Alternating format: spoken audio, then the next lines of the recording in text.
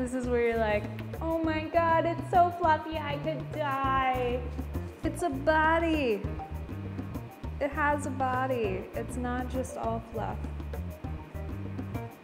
Its body's only like four inches big, but it has a body.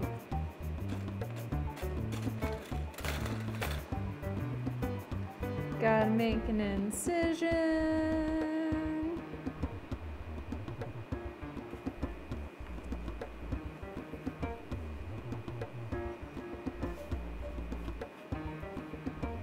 Time to do some chopping.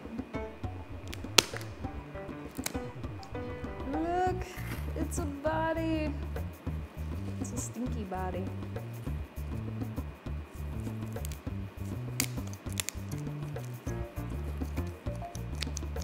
Now we're gonna pull the skin down, kind of like peeling a banana.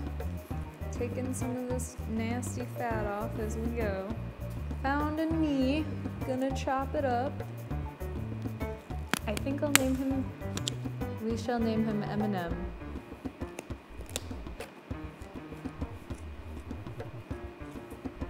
Alright, well we're gonna set that aside for later. So we're gonna pop this leg out.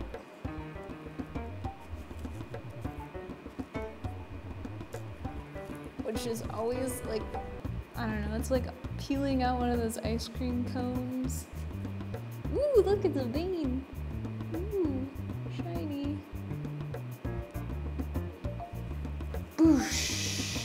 Superpower.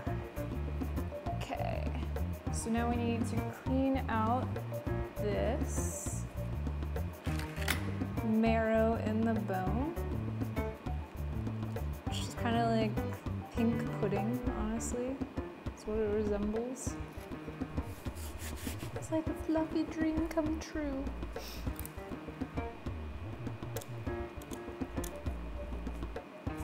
And we're moving on to the wings, to the walls, to the.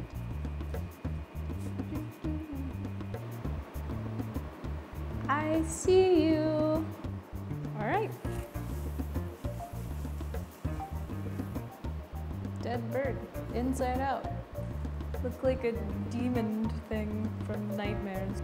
Reversed bird, time to invert, revert, and convert. Bum, bum, bum. Feet first. Let go, give up, surrender.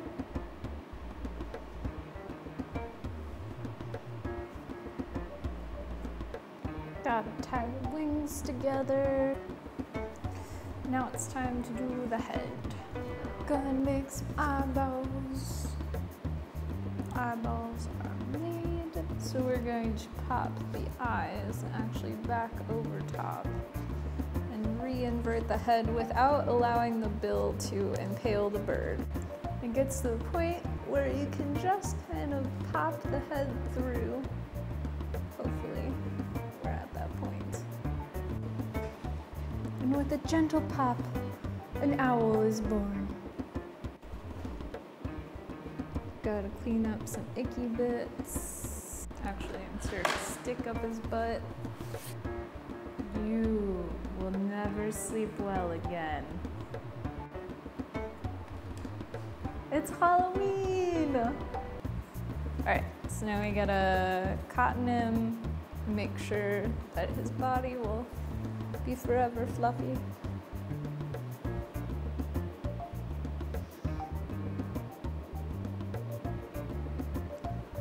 Okay.